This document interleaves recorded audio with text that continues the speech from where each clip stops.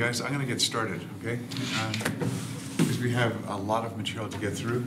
Uh, This is, I'm Al Vitale, I'm the uveitis division and retina division as well. Uh, And so we're going to, the goal of this is to give you kind of a general overview of the um, general principles, epidemiology, classification, and diagnostic approach to each, to uh, uveitis. So um, in a former life, I was actually doing a similar thing at, at the King Khalid Eye Specialist Hospital in Saudi Arabia, where I spent seven years prior to coming to um, to uh, the Moran Eye Center. But in real life, uh, my real job is a wild animal trainer. This is my wife and uh, four monkeys. So my training began actually in Boston uh, with uh, these kids. So you can see I'm much younger there, and uh, there are three children that are the same age and a kid that's just a year and a half older. So this is our gang of four. Um, we, uh, I finished fellowship training, went to Saudi Arabia, and this is actually a picture of uh, us in front of Kennedy Airport on the day that we're leaving, and that is a triplet stroller. And uh, my son seems to be looking at me like, you sure you know what you're doing here? Are we really going to Saudi Arabia? And uh, it turns out it was a pretty good place. My wife, uh, with her hands full, literally, uh, at a place uh, near Saudi Arabia on the beach during the first time that we actually had a, a break.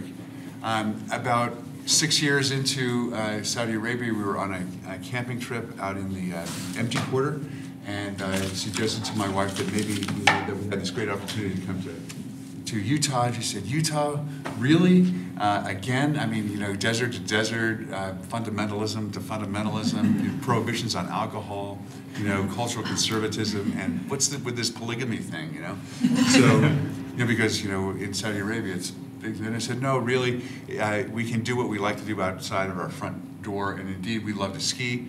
Uh, and, you know, there was a time when I, I, I mean, I still ski with my boys, my, my daughters, um, and there was a time when "follow me, guys" was actually a safe thing to say, and really, what's more dreaded is like "follow me, dad," guys, because I really don't want to ski behind my boys anymore because they get you know upside down and dangerous. Um, this is my son Ryan, who was a competitive longboarder. These guys pretty much are going about 65 miles an hour down concrete roads. If you're if you want some entertainment. Uh, uh, go on YouTube and and uh, kind of search when reindeer attack he has this collision at, about 55 miles an hour with this reindeer, which is pretty, pretty impressive. We've got a lot of hits on YouTube. He's alive and doing well. My daughters are uh, like to get air as well. They are uh, have been competitive equestrians, and my daughter Sophia continues to do that. Uh, my son and I like to surf a lot, and we go to a lot of different places to do that. Um, the photo on the bottom right is a place called Scorpion Bay, where I hope to be um, in a week. So hopefully there'll be some surf there. Um, my family has really thrived in uh, Utah. These are my kids, they've grown well. And then on the right, uh, my kids and our adopted friend Kellen there. Uh, we frequently have get-togethers around the holidays that involve people from the Moran Eye Centers. You can see Dr. Shakoor, Dr. Uh, uh, I think, who is that there? Uh, Renee Choi and a couple of other people. So, and then we have our other families in Mexico and around. So um, people that are living at home now are two dogs. Uh, my daughter is living there for the time being. So they're really, um, we're not quite empty nesters and we're still, you know, kind of crazy after all those years. So I just want to give you a little introduction about me, um, you know, as well as uveitis. So here we go, we're getting into, you know, the meat of this. So uveitis really, the word uvea comes from the Greek, uh, from the Latin for grape. Um, uveitis really is a, a, generic term that refers to intraocular inflammation, in, intraocular inflammation, but really comprises about 30, more than 30 separate entities, which can be distinguished based on their clinical features and disease-specific treatments. Broadly speaking, I think it's helpful to think of uh, ocular inflammatory disease as either infectious or not infectious. Uh, many of the not infectious uh, entities are auto-inflammatory or autoimmune. And of course, you always have to keep neoplastic masquerade syndromes in mind. Um, it is a leading cause of blindness worldwide, uh, probably the fourth or fifth cause of blindness in the United States, and represents about 10 to 15 percent of total blindness in the United States, and may be the fourth or fifth cause of um, visual loss after diabetes and age-related macular degeneration, making it an important cause of visual loss given the fact that it affects uh, people of working age and may the economic and personal impact may be greater than that of age-related disease. Um, the approach to the patient with uveitis, you know, for the interns here, for Ariana, you know, um, you never really escape, you know, being a, a, doctor in uveitis. As William Osler said, you know, um, if you want to know what your patient has, talk to them, listen to your patient. He's giving you the diagnosis. So history is really important, okay? Both ophthalmic, medical, and then by uh, means of a review of systems which we conduct with the patient and ask them to fill out um, uh, before their uh, visit. Then, of course, the ocular examination and general medical examination to the extent that you can perform it in the, in the clinic.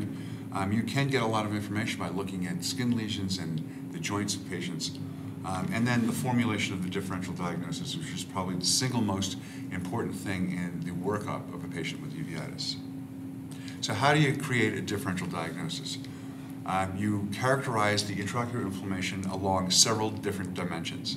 One, where is it located in the eye? What is the anatomic location? Two, what is the presentation, course, and laterality? Is it unilateral, bilateral? Is it acute or chronic? Then a description of the lesion morphology, the number of lesions, the, the uh, uh, descriptors uh, of the lesions themselves will go into all of these. And then there are host factors. Is this a intraocular inflammatory condition that is associated with a systemic disease, or is it a purely ocular condition? Um, a corollary to that is obviously, is it infectious or not infectious? Probably the most important, one of the most important differentials, uh, distinctions that you need to make obviously because you do not want to treat an infectious disease with um, steroid medications. And then, what is the immunocompetence of the patient? The typical characteristic morphology and uh, uh, phenotype of certain types of disease in an immunocompetent patient will look completely different in an immunosuppressed patient. Uh, then, you know, what is the uh, demographics? Uh, you know, where is it, where in the world is the patient coming from? What is their ethnic background? As the world is smaller, you will see unusual diseases here. Plus, uh, there are certain um, disease entities that are more common among certain ethnic groups. And then, of course, the associated signs and symptoms. So here you have a patient with a, um, a rash of erythema migrans, a targetoid rash, which in the correct clinical context is diagnostic of Lyme disease. Okay, no more tests, right?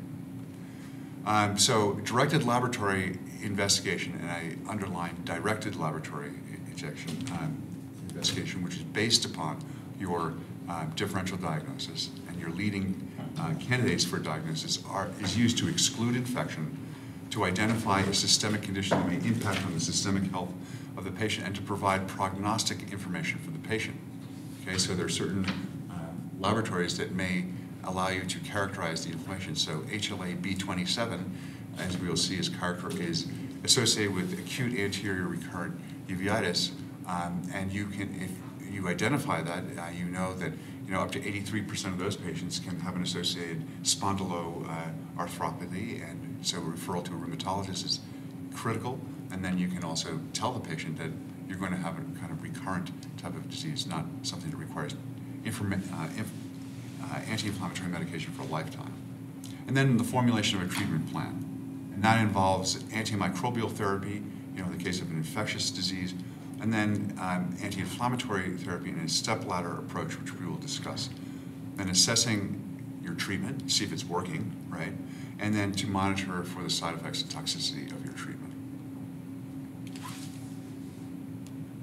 So there's a group called the SUN Working Group, the Standardization of uveitis Nomenclature, and we uh, met about a decade ago to try to agree on what we uh, are talking about when we describe uh, inflammation in the eye.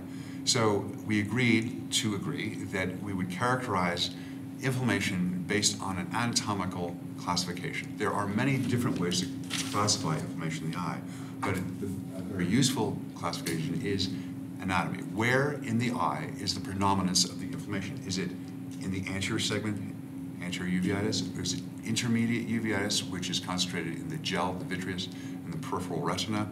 Um, Posterior uveitis. Posterior uveitis, by definition, requires a lesion in the retina or choroid, not a structural complication like macular edema or optic nerve head smell or even vasculitis. So lesion in the retina and choroid. Or a panuveitis, where there's inflammation in all three compartments. So these are some uh, just graphic examples of, you know, anterior uveitis with hypopyon uveitis in a patient with Behçet's disease. Intermediate uveitis, this is looking beyond the lens into the gel of the eye, and you can see it is chock full of cellular material.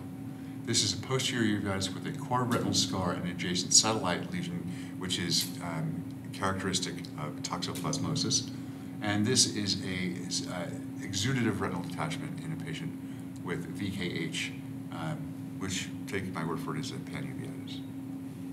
So this classification system is good, but it does not include, I think, some important, very important entities, which we were, they were un, which we didn't address or are important to consider and that includes keratouveitis, so inflammation or infection uh, involving the, the, um, the, cornea and the anterior chamber. So keratouveitis, in my mind, is herpetic until proven otherwise.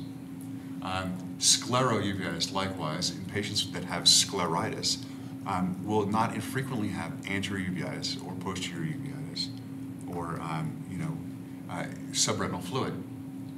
That's important because it, in about 50% of the time it can be associated with a systemic condition and rarely in systemic conditions that are potentially lethal, okay, such as uh, GPA. Then the, there's the whole problem of retinal vasculitis, which can be primary or secondary. So the vessels can be involved in a variety of diseases, either as a primary vasculitis or secondary to um, infection or inflammatory disease or as a part of a systemic vasculitis, which is uncommon. However, it's important to identify um, those as, as, systemic conditions, such as lupus or uh, GPA or polyarteritis nodosa, because that impacts the systemic health of the patient. And then um, the differential diagnosis can also be further honed down by um, identifying which vessels are involved. So there are certain entities that predominantly involve the arteries, such as uh, uh, herpetic uh, necrotizing retinitis, or those that predominantly involve the veins, such as sarcoid-associated uveitis or intermediate uveitis. Um, what do you mean when you say, you know, acute or chronic or recurrent disease? Okay, so you, when we talk about the onset of inflammation, we, it's either sudden or insidious, and the duration is either limited or it is persistent, and limited arbitrarily would be something that lasts less than or equal to three months. So that an acute disease is one that is of sudden onset and limited duration. A recurrent disease is an acute disease that has episodes that is punctuated by periods of inactivity for greater than three months. And a chronic disease would be persistent inflammation that has uh, inflammation with prompt relapse after tapering treatment. So it's important that uh, you know people communicate that uh, correctly. You know, um, there is no such thing as you know uh, an acute chronic disease. I mean, you would, people put these words together all the time, not really thinking about what it is that you know they're saying. So I think that it's important to you know use these kind of words correctly because it's useful in communicating what it is that you're talking about because it can tell you what the disease is and I'll show you what I mean. So you, another way that uveitis had been classified is kind of a clinical description of whether or not it's granulomatous or non-granulomatous. This is not a pathologic definition, but more of a clinical definition based upon the appearance of the inflammatory precipitates on the cornea or on the iris. And these are non-granulomatous fine keratic precipitates, which are not particularly specific, but these are granulomatous in contradistinction, that look like kind of greasy, larger, so-called mutton fat, uh, you know, stuck on uh, precipitates, and this is an inflammatory nodule on the iris. Okay, so if you see this, then your differential is a little bit more narrowed because there are um, a limited number of diseases that can present uh, as granulomatous disease, such as sarcoid sympathetic lens-induced disease, drug foreign body, VKH. Notice that herpes and syphilis can do whatever it likes. So um, it is not specific, okay, but, uh, and always keep in mind that herpes and syphilis are the masqueraders that can do pretty much anything they like. So this very busy slide just kind of lists on this axis the anatomic location and this, whether it's infectious, um, systemic, non-systemic. The point of this disease, uh, the point of this slide, is to point out that syphilis, tuberculosis, and sarcoidosis, and you know where it's endemic Lyme disease, can really do, and can present in all different anatomic locations of the eye. Okay, so always have that in mind when you're thinking about uveitis patients. So here are some some illustrations of the major anterior um, uveitis. Uh, they are listed here in infectious, systemic, and non-systemic disease. This is an example of a patient with um, herpetic uh, uh, keratouveitis with sectoral iris atrophy, which, by the way, is not pathognomonic of varicella infection, so it can happen in simplex as well. This is a patient with B27 associated disease with a hypopyon uveitis, collection of white blood cells uh, in the anterior chamber that layers out. Uh, this, uh, in contradistinction, is a patient with chronic uveitis in a child that has a white eye with juvenile idiopathic arthritis and a structural complication of a cataract. Uh, this is a patient with uh, mutton fat KP, posterior synechia, uh, in a patient uh, with anterior uveitis and sarcoidosis. And this is a guy with two different color irides with Fuchs heterochromic iridocyclitis. Uh, the major entities uh, to think about uh, in intermediate uveitis are infectious disease such as syphilis and uh, Lyme disease. The major systemic illness, illnesses that can occur with it include multiple sclerosis, which is an important consideration um, in select patients, and sarcoidosis. And then if there is no associated systemic condition, it is termed pars planitis. Okay, so pars planitis is idiopathic intermediate uveitis. Different, um, the, one of the most common structural complications and cause for visual loss is uh, macular edema. There are frequently collections of what we call snowballs or inflammatory exudates in the retina. This, these would be non-well circumscribed, uh, you know, vitreous opacities, which would be indicative of, active disease. And phlebitis, that is inflammation affecting the, um, the veins.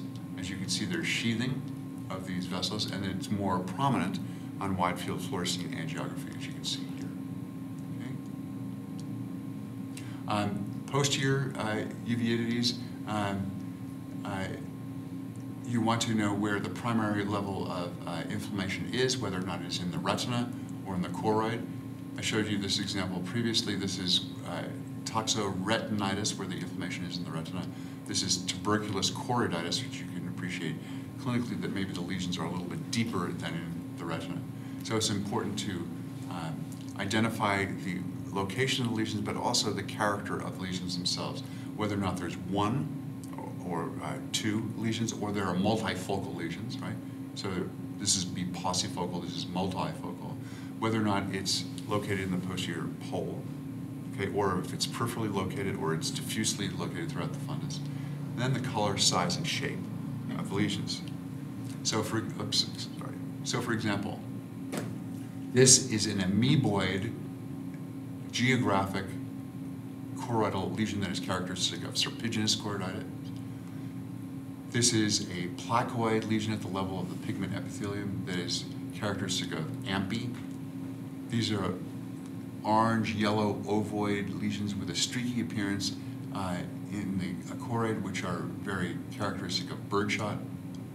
These are punched out lesions with atrophic appearance and hyperpigmentation around them that we see in patients with multifocal choroiditis. And these are barely discernible, small white cartwheel type of lesions that come and go uh, in the, and are so-called uh, characteristic of evanescent white dot syndrome. In the posterior segment, um, major infectious entities are listed here. This is a patient with CMV retinitis, which is a multifocal retinitis.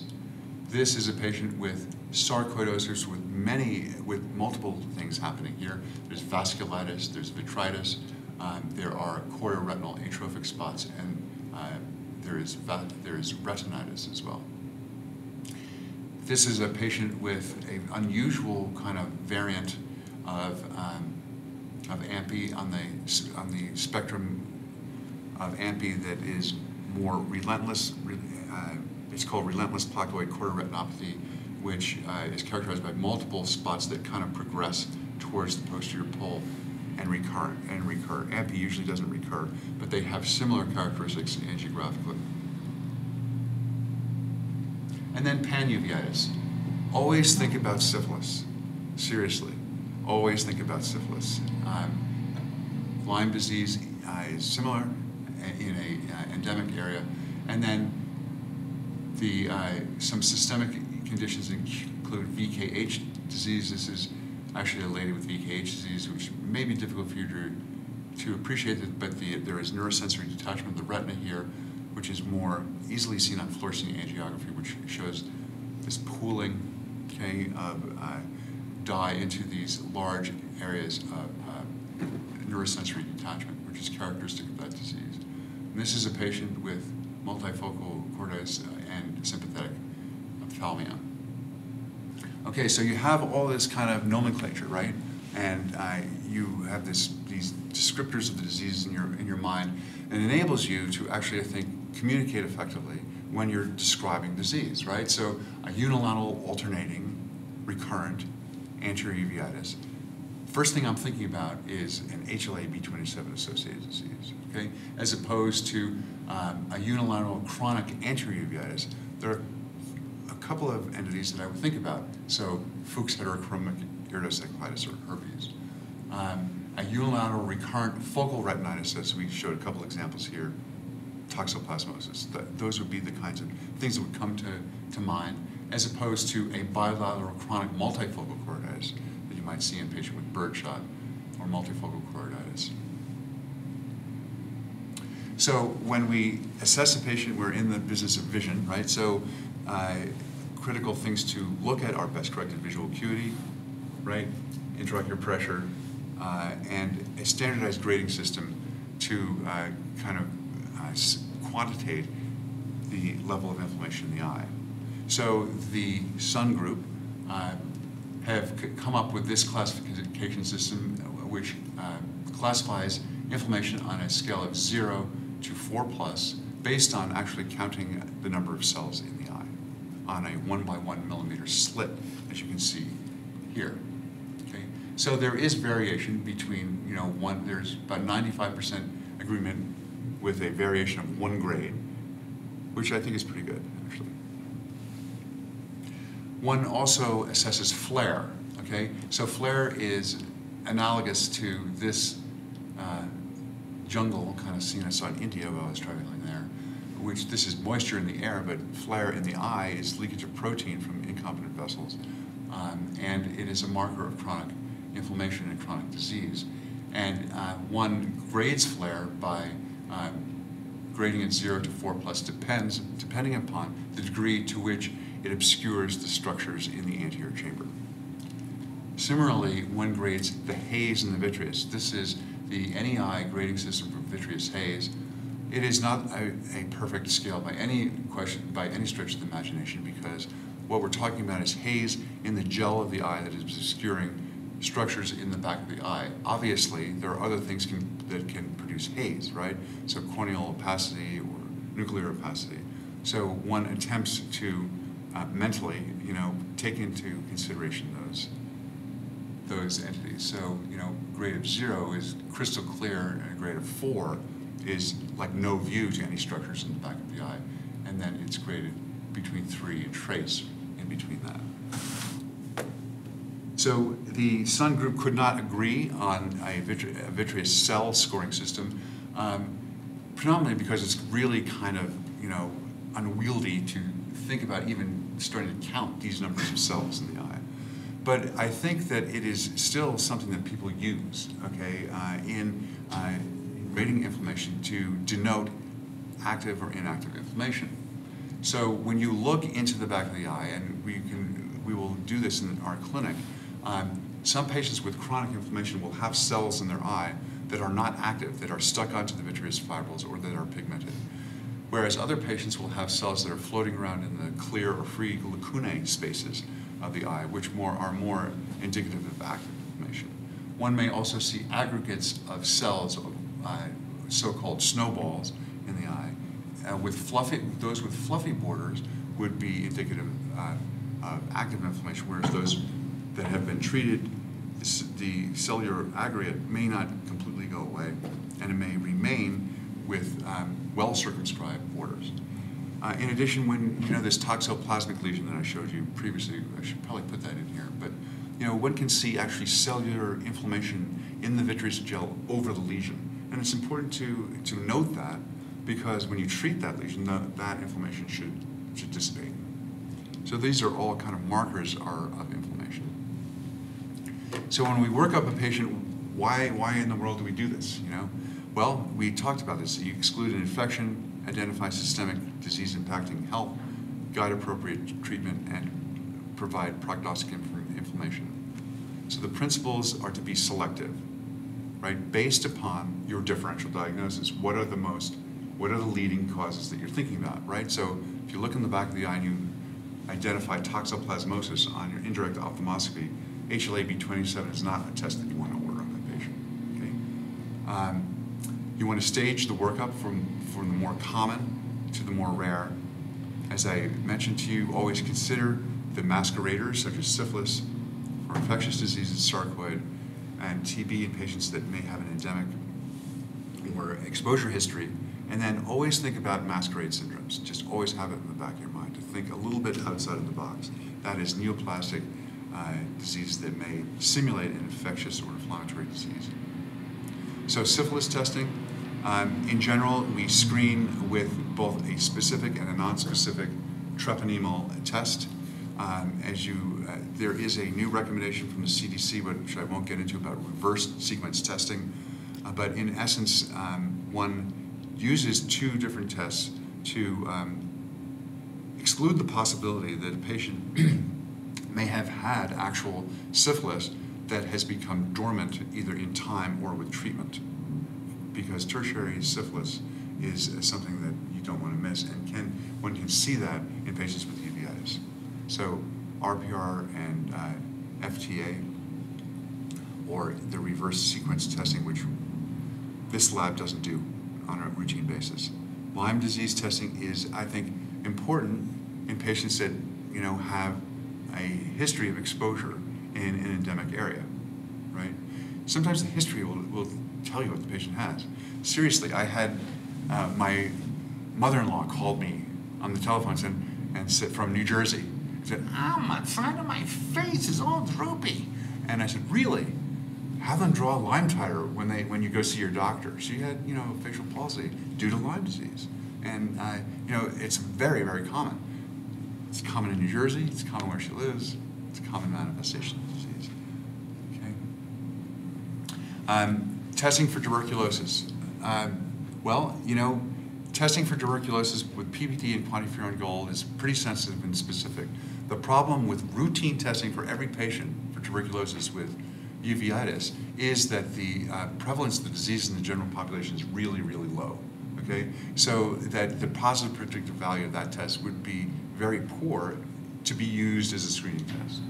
On the other hand, it is very helpful in patients in whom you think you want to exclude that diagnosis, right? So a person that presents with iris nodules and chronic anterior uveitis, um, patient with a choroidal tuberculoma, as you see in this picture, there's an entity called serpiginous-like choroiditis that you must exclude tuberculosis exposure in, um, and then multifocal choroiditis in an immunocompromised patient.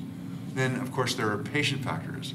You know, so we see refugees here, immigrants, um, elderly people, and then those with significant exposure risk, and then of course in anybody in whom you're considering placing on systemic immunosuppressive therapy, especially biological therapy.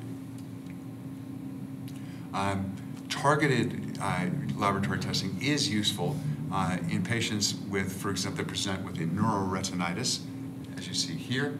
So Bartonella is the leading cause of neuroretinitis and should probably be excluded history of cat scratch is always helpful, but not always, uh, you know, forthcoming. West Nile virus in a patient that presents with kind of these targetoid type of lesions that may, you know, in September or um, August or, you know, October, which is West Nile season. Seriously, I was giving a talk last year um, to, you know, some some people here in September, and our fellow called me and said, I got this patient that has these funny lesions, blah, blah, blah. You know, and patient ended up having West Nile virus, you know, so we got West Nile titers, and she had drenching fevers, you know. Oh, okay. Um, yeah, maybe we can talk, we'll talk about this in detail, but it's useful. You wouldn't get West Nile virus on a patient with anterior uveitis, right? So there'd be no clinical indication to do that. And then PCR of the aqueous or vitreous is extremely useful in confirming the diagnosis, confirming the clinical diagnosis of necrotizing retinitis. On the other hand, routine screening is of limited value in patients for um, varicella or herpes simplex disease because the majority of the patient population is going to be seropositive for that. Similarly, toxoplasmosis, routine screening is not going to be valuable um, uh, because of the high seroprevalence in the general population. I mentioned this to you, a patient that comes in with non-granulomous anterior uveitis, first episode, may have a history of back pain. Half of those patients are going to be HLA-B27 positive. Up to, you know, 80% of them will have an undiagnosed spondyloarthropathy. That's a useful test. Um, ANA is not a useful test as a routine screening test for patients with uveitis. Lupus rarely causes inflammation in the eye. It can cause vasculitis, but rarely uveitis. On the other hand, you, children with anterior uveitis um, should be screened with ANA because uh, oligoarticular um, juvenile idiopathic arthritis is a leading cause of chronic uh, anterior uveitis. Similarly, a beta-2 microglobulin uh, and serum creatinine are useful screening tests in patients that present with bilateral simultaneous anterior uveitis for the, for the diagnosis of tubulointerstitial interstitial nephritis and uveitis syndrome. And then um, ANCA rheumatoid factor uh, would be useful in patients with scleritis. Um, as systemic diseases are associated, 50% of these uh, of sclerotic patients and rheumatoid and rheumatoid disease is the number one systemic association. Um, just a word about sarcoidosis. Um, it can produce any type of uveitis. Uh, the organs most likely affected are the lung, skin, reticular endothelial system. But really, you know, uh, the joints, brain, heart uh, are important uh, organs that are frequently involved. Um, people will not infrequently use ACE and lysozyme as screening tests. They're, the utility of which is probably not very uh, helpful, uh, I don't think, unless the patient has active disease in which they are generally high. Um, similarly, abnormal liver enzymes may uh, point you in the direction of sarcoidosis if they're very high in patients with liver involvement, but really chest x-ray is probably the most useful screening test for patients with sarcoidosis is it's abnormal 90% of patients with active disease. And in patients in whom you have a high clinical suspicion, suspicion of sarcoidosis and uh, have a normal chest x-ray, repeating that test with a high resolution CT scan may be very valuable because it may identify uh, lesions that are missed on routine chest x-ray. The diagnosis, really, the definitive diagnosis that a tissue diagnosis, uh, um, uh, particularly, you know, in the lungs, but, you know, look for extraocular sites, you know, like the skin, without having to do an invasive bronch, uh, or even the um, uh, lacrimal gland. So ancillary uh, imaging is also important in the workup of uveitis, as we talked about with chest x-ray, sacroiliac films, uh, CT and MRI, but uh, ultrasonography, you know, obviously in a patient with mediopacity, uh, one would not want to have a surgical adventure in this eye with these, you know, uh, detachments. And UBM uh, is, is helpful uh, in identifying the causes of hypotony, which you can't really see on your examination. So the identification of a ciliary membrane or ciliary body detachment. We will talk about multimodal imaging, which is really critical in the evaluation of patients with posterior uveitis. Um, fluorescein angiography is alive and well, I think, in uveitis. Um, it is a very sensitive imaging modality for the detection of active uh, disease, particularly retinal vasculitis. Um, and can also identify areas of non-perfusion, which I think require uh, treatment in patients with occlusive retinal vasculopathy, which one sees in patients with uveitis. And then ICG angiography, as we were discussing yesterday in fluorescein, rather uh, last Thursday in fluorescein uh, clinic, is useful adjunct in patients with uh, choroidal uh, inflammatory disease. Obviously, um, OCT has kind of revolutionized our, uh, our uh, view of the back of the eye in providing you know, quantitative uh, information, information and structural information, particularly as far as the not only just macular edema, but you know what's happening in terms of choroidal neovascularization uh, and in the outer retina. And I think that OCT angiography will become uh, very important in the identification of uh, and distinction between chorioretinal inflammatory disease and choroidal neovascular disease. And finally, uh, fundus autofluorescence likewise is, is, I think, quite useful in identifying um, atrophic versus active diseases in uh, certain types of white dot type of uh, syndromes. We do use uh, full field electroretinography for global tests of uh, function in certain diseases such as retinal choroidopathy or in patients with uh, autoimmune type of retinopathy where the retina is, globally affected and then visual field testing. Likewise, um, are useful uh, objective uh, modalities to follow patients that are being treated for these diseases with immunosuppressive therapy. So treatment in 20 minutes, but um, I just want to kind of go over some general principles of treatment, okay, so that you have an idea of how we kind of approach patients, okay? So the really important thing in treatment is to establish a diagnosis.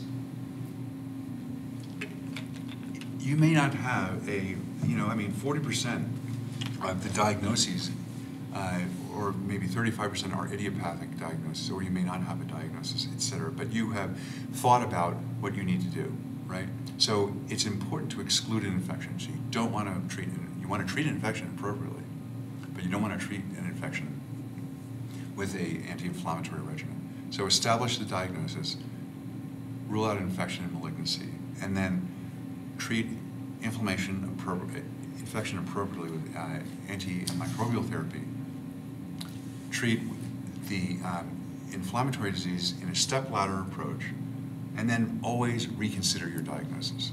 Just watch the patient. Don't get go down a rabbit hole and don't look back. Okay. So some people will have an atypical response to their therapy. Maybe your diagnosis isn't right. You really have to be prepared to rethink things, and then be, um, you know, be astute to new findings as they emerge. When you see patients, always it's, it's a new opportunity to reassess them. Right? So the goals: elimination inflammation, you know, uh, suppress chronic activity, try to induce remission, which is hard to do. Treat and reduce, prevent ocular stru structural complications in order to preserve vision and to avoid and minimize systemic complications. So you want to eat, you know, have your cake and eat it. Okay, I think it's possible to do that this stepladder algorithm, I really don't like algorithms in uveitis. I mean, I think you think about each patient individually, but this is just a general guideline. You start with steroids, okay? Steroids is the first line treatment, and from whatever, uh, you know, route and as frequently as you can. So topical steroids, uh, periocular steroids, intravitreal steroids, uh, and then systemic steroids for brief periods of time because we try to limit the total exposure of steroids from all routes as, as much as we can. So we use them to put out acute, to treat acute inflammation, but try to limit the total exposure of steroids given the steroid side effects. And then have a low threshold for the um, introduction of steroid-sparing immunomodulatory therapy, which involves both conventional agents, which we'll, I'll just give you an overview of, and then biological agents. And then there are cases in which diagnostic vitrectomy is necessary, diagnostic tissue and fluid sampling. So uh, the best route and choice of medication is really determined by the location of the inflammation, the laterality of the inflammation, the potential ocular complications, and the systemic health of the patient. right? So topical steroids are very useful um, in patients with anterior uveitis, but not so much, you know, for people with posterior uveitis because the medications don't penetrate to the back of the eye. Whereas periocular, intravitreal, uh, or systemic steroids are useful, with or without immunomodulatory therapy, are useful for patients with, immun, uh, with intermediate posterior and panuveitis, uh, particularly when it's uh, uh bilateral for systemic disease. So this slide just kind of summarizes, um, you know, in a box fashion, if you think better this way, you know, anterior, we use topical steroids for intermediate posterior and panuveitis, in which there's anterior uveitis, okay? But periocular steroids are more preferentially used um, in intermediate and posterior uveitis. Um, so how to use topical therapy, um, you know, we deliver um, high doses of, of, steroids usually, so you don't start out with twice a day, but you, if you have inflammation now, you want to treat the inflammation with um, a uh, healthy frequency, four to eight times a day of, of topical medication, and then once there is uh, the inflammation is down to you know 0.5 plus or zero, um, then uh, begin to taper the medication. Um, we frequently will also apply cycloplegics in patients with anterior uveitis, um, both to move the pupil so that protect the patient from developing posterior synechia, and also um, to for uh, for pain management in patients with ciliary spasm. Periocular steroids can provide local and uh, sustained drug delivery for about three months um, with no real systemic side effects.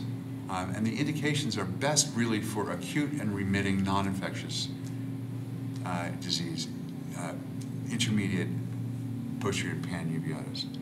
So it's better for that than chronic disease. Okay? Um, it can be used primarily, say for example, in a patient with unilateral intermediate uveitis. Um, uh, it can be used adjunctively in patients with, who develop macular edema who are on systemic medication. Uh, it is frequently useful in patients with macular edema. Um, the contraindications for periocular steroid injection, I think just always think about that, are infection, right? So you don't want to treat a patient with toxoplasmosis with a periocular injection because you have a depot steroid back there that can make the uh, infection run wild. Similarly, scleritis and corticosteroid uh, intraocular pressure uh, responses are relative contra contraindications, depending upon the need for that treatment. Um, there are a couple of different preparations. We generally use triamcinolone here. There are a couple of different ways to deliver it. One can give a, a um, uh, orbital floor injection um, or a posterior uh, or a um, sub-Tenon's in injection. I generally deliver it uh, you know, through the orbit it's an orbital floor injection when I do it, which I've been doing a lot less often these days, because I think it's better tolerated by the patient and it's easier to do. Um, and I think that the side effects are, although they're similar in terms of uh, cataract and in, elevation intraocular pressure, um, I think they're better tolerated, actually, with the orbital floor approach. They are equally as efficacious, at least in the studies that have been conducted. So irrespective of the route, you can get resolution of inflammation about 30 to 60% of the time um, with improvement of visual acuity. There's a historically um, an additional benefit of repeated injection. We will have some new data coming out, you know, in about three, two months, which is comparing different routes, which will be interesting. We can inject the steroid into the eye, okay, an intravitreal injection. Um, it is quite effective in the immediate reduction of macular edema and of uh, inflammation in the eye, with improvement of vision and decreased vitritis. The duration really varies depending upon you know the disease entity and whether or not the eye is vitrectomized or not. Um, there is a formulation uh, of dexamethasone, uh, the so-called Ozurdex injection, injectable implant, which is uh, uh a biodegradable polymer with lactic acid and glycolic acid, which degrades into carbon dioxide and water, which has been approved for the use of intermediate posterior panuveitis. Um, it is effective in reducing vitreous haze, macular edema, and visual acuity compared to sham in the approval trial with little complications, okay, um, and uh, no cataract. But you have to remember that these studies are short term. So it's a six month study. Patients without patients who were steroid responders were excluded from the study. So real life, okay, use of dexamethasone um, is shows efficacy um, at a, I think a reduced um, durability uh, platform. You know, from rather than six months, but more like two to four months in terms of its durability. And um, indeed, uh, it is effective in reducing central macular thickness and vitreous haze, but it comes at a cost with repeated injections of elevated intraocular pressure and cataract. So this is just a kind of a summary slide, uh, you know, showing periocular steroids and intravitreal steroids, um, showing basically that they are moderately effective, I think. Um, there's this clinical impression that intravitreal injections may be more effective. I think that's probably true. Uh, but that uh, the, there is more um, of a problem with uh, ocular side effects of elevated intraocular pressure and cataract. Um, and that there are additional benefits for repeated injections, but it comes at a cost. Uh, and then one interesting, uh, I think, clinical uh, observation is that patients that are on immuno, systemic immunosuppressive therapy require fewer adjunctive treatments than patients that are not. So um, the problem with regional corticosteroids is that they're relatively short-acting. They are not really that effective for chronic inflammation because it would require uh, multiple uh, administrations of steroid in the eye with the cumulative risk of cataract and intraocular pressure. With each relapse, you're, you're, treating relapse, right? So with each relapse, you have this little hit on uh, structural function, I think, uh, in the eye with uh, kind of a sawtooth decline of function. And I think that's been pretty well demonstrated by certain entities that have been managed that way historically in the past, such as Birdshot, um, which does not respond well to intermittent therapy, either with uh, periocular, intravitreal, or systemic corticosteroids. There is a device called the Retisert device, which has been shown to um, provide a sustained uh, delivery of fluocinolone acetonide into the back of the eye. It's been approved by the FDA in 2005. Um, reduction of rate of uh, inflammation, um, reduction of the rate of adjunctive corticosteroids, um, and effective in the short term, you know, in, in, while the implant is still active, but it comes at a cost, okay? And the cost is 100% development of cataract in phakic eyes, okay? 70% um, development of the need for adjunctive topical anti-glaucoma medications, and 40% um, uh, incidence of incisional glaucoma surgery. That's pretty high, okay? So if you're, it's effective, but you have to keep those risks in mind. There is um, an NDA has been submitted to the um, to the FDA for a fluocinolone acetonide intravitreal insert, which is a similar idea, similar compound, but delivered in an office setting. Uh, so the medication is actually eluted onto a polyamide cylinder, which is injected the eye like dexamethasone. Um, so we will see. It preliminarily um, is actually pretty effective It may be a really great adjunct. Systemic corticosteroids are used frequently in patients with bilateral disease uh, for acute therapy. we can also, we usually uh, dose it at a milligram per kilogram or usually at a maximum about 60 milligrams a day. The reason for that dose is that uh, data from the rheumatologic uh, literature suggests that uh, doses greater than 60 milligrams a day are uh, associated sometimes with, are more places patients at greater risk for aseptic necrosis of the femoral head. So usually around 60 milligrams for a couple of weeks and then, then uh, tapering the medication. Um, we can also give it by IV pulse as the neurons uh, frequently will do for optic nerve disease.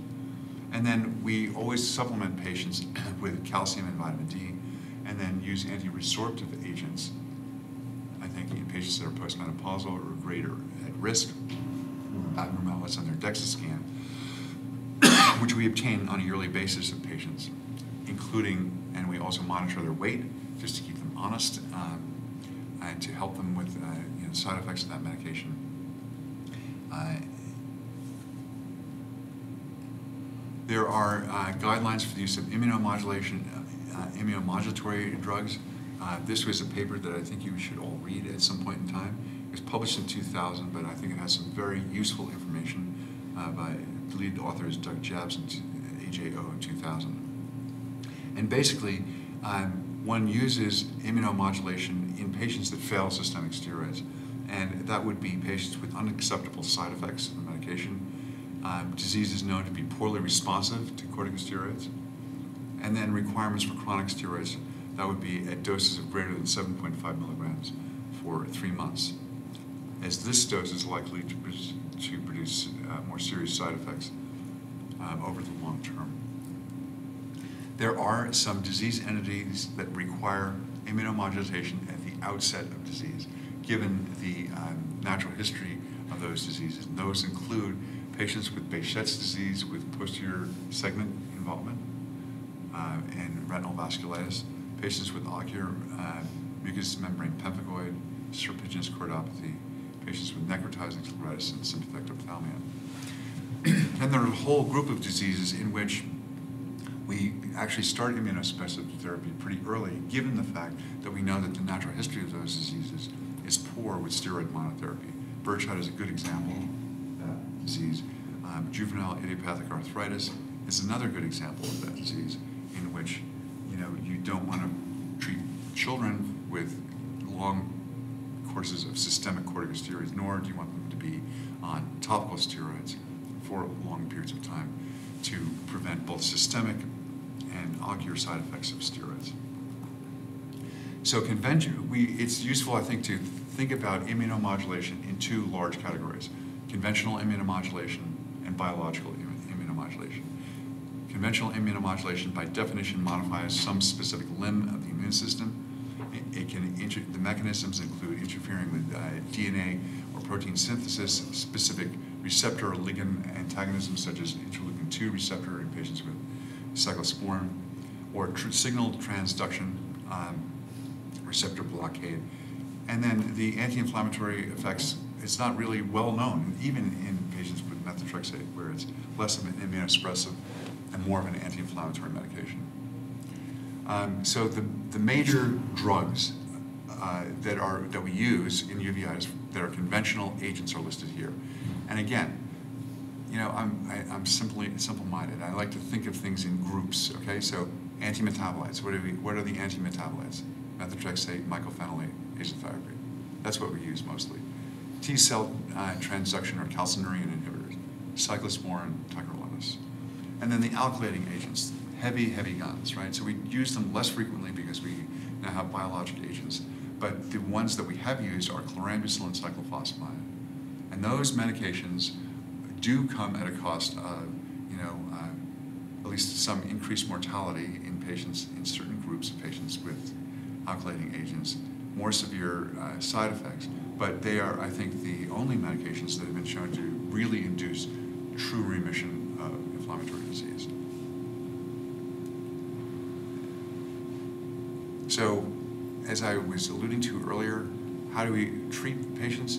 acute care with steroids by whatever route we need. If we're contemplating placing a patient on, say, for example, a conventional agent like methotrexate, um, we use systemic steroids frequently as a bridge, or maybe an intraocular steroid as a steroid bridge because the um, time uh, with which antimetabolites become active may be two to three months. So we want steroids to ramp down, and then the other medications to ramp up.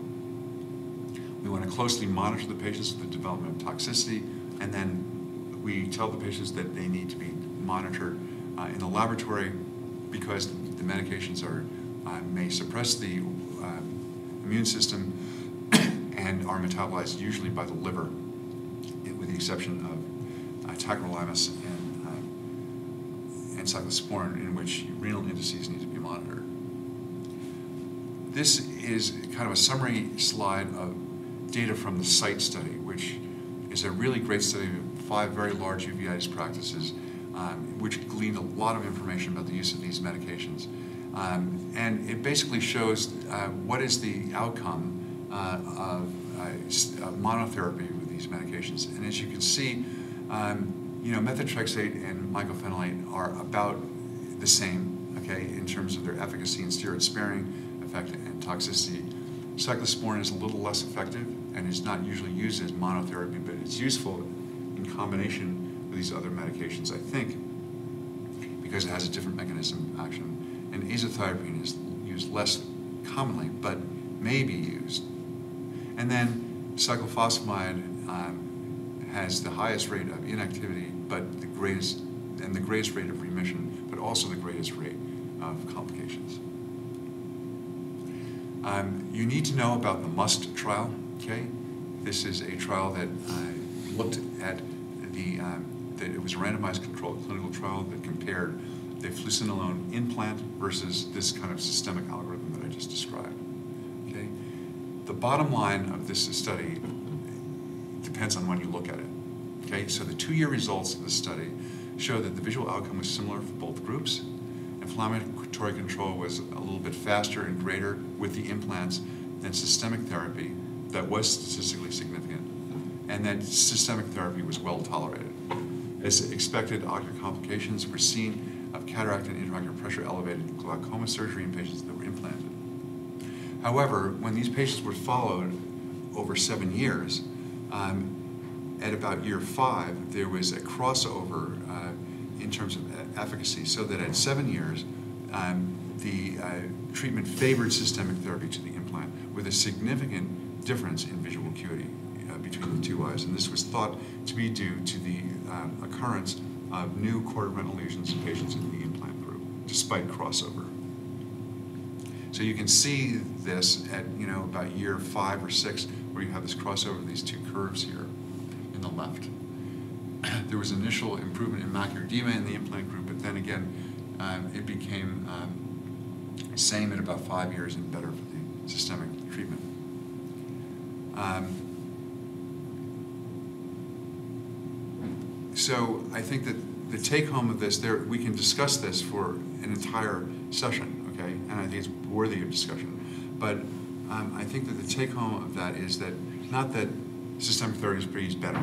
You have to individualize this to a patient, right? So that initially, systemic therapy may be preferred initial treatment in a patient that can tolerate systemic therapy um, due to the variable effect of regional steroid. But the implant is an excellent alternative in patients that have uncontrolled inflammation or intolerance to systemic medications.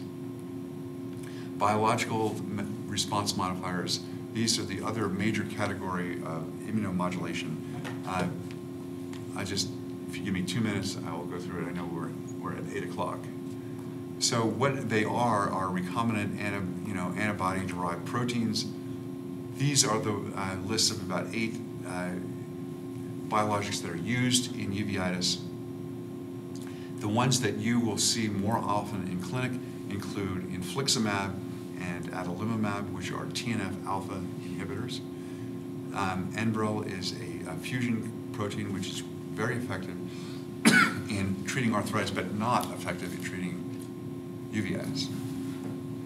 So an expert panel, like the one in 2000 was convened, and uh, which showed, which concluded that infliximab and adalimumab, those two TNF inhibitors, are useful as first-line agents for patients with Behçet's disease and as second-line agents in JIA, associated erysipelas, and then are um, potential second-line agents in uh, patients that fail conventional immunomodulation. Um, Infliximab is delivered, is a uh, chimeric antibody, mouse-human antibody is delivered IV. Uh, We frequently use it in combination with an antimetabolite like methotrexate to reduce the incidence of anti-chimeric antibody and for its added efficacy. Um, There, it is a uh, effective medication with- which is steroid sparing. However, just so you know, biological agents are not really remittive agents, okay? So you remove them and many patients will have recurrences of inflammation. The advantage to using infliximab is that you can adjust the dose a little bit. You can assure compliance. So it's IV, the patient has to be there to get it, and then you can actually uh, dose it monthly or every eight, eight weeks, and there's variability in the dosage. If the patient doesn't uh, respond. Adalimumab is a fully humanized um, anti-TNF antibody, which has been approved by the FDA for uveitis. So it's the first biological agent that's been approved for uveitis. And we have been using it more and more uh, frequently in our clinics. I think the concerns that you need to know about the TNF inhibitors is that there's definitive increased risk uh, for infection, so all patients are screened, screened for tuberculosis. Um, there is an increased risk, at least in certain populations, of lymphoma.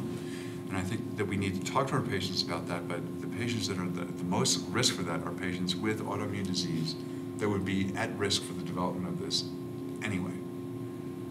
That's hard to, it's a hard sell sometimes in some patients that are very risk averse. And then of course, um, it can increase the risk of demyelination. So in any patient that has any um, history of multiple sclerosis, or in patients with pars planitis who are at risk for developing multiple sclerosis, one should be circumspect in just automatically prescribing it. So in patients that we put on this medication that are young women with intermediate uveitis, we get a thorough history, and even in the absence of any history, I will scan them, okay? Um, so there's variable response to TNF therapy. So TNF isn't the answer, right? There are a whole bunch of other um, biological agents that are in the pipeline and that are actually that we use. Um, so what, what do you do if uh, you if a patient fails Humira? Well, you can put them on another TNF, anti-TNF medication, as I mentioned to you. So Humira is uh, subcutaneously administered. It's a fixed dose, okay, of 40 milligrams every two weeks.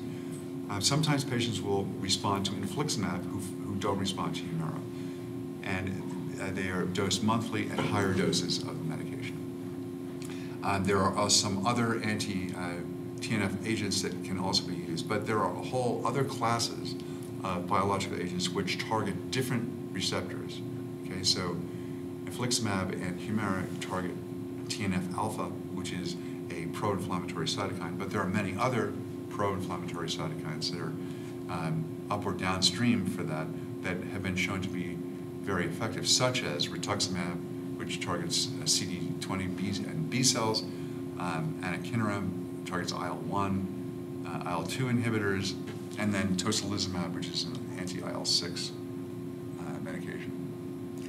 Interferons are, are used uh, actually very effectively in patients with Behçet's disease and chronic macular edema but the literature comes from Europe, and I, for some reason it just not has not caught on in the United States, primarily because of the probably the insurance hurdles and, in getting people on it and the 100% uh, development of side effects that are kind of nasty flu-like illnesses and depression. But I actually have a patient that is on this chronically for macular edema, whereas nothing else has worked for them. Um, so is this stuff effective? Well, it is actually effective in patients uh, with JIA uh, in reducing ocular complications such as hypotony, epiretinal and blindness in the better seeing eye.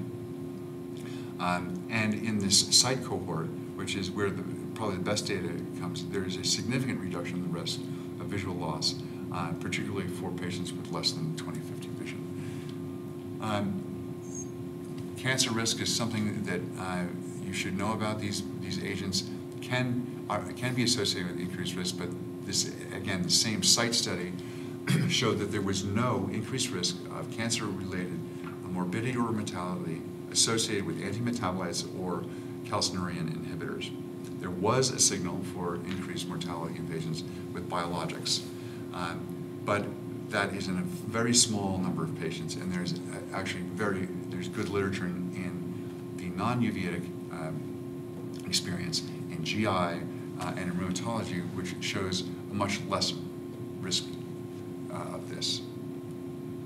Okay, so I mean, that's a lot of material, and I don't expect you guys to, you know, take all these things home, but I really wanted to give you some, you know, real uh, kind of a broad overview of how we approach the patient and what we treat them with, you know. So there is, it is not a random process. It, there really is a way to approach a patient, uh, both diagnostically and uh, therapeutically. This will become much more obvious as we see patients in the clinic. And then we can discuss these treatment uh, and diagnostic modalities in more detail.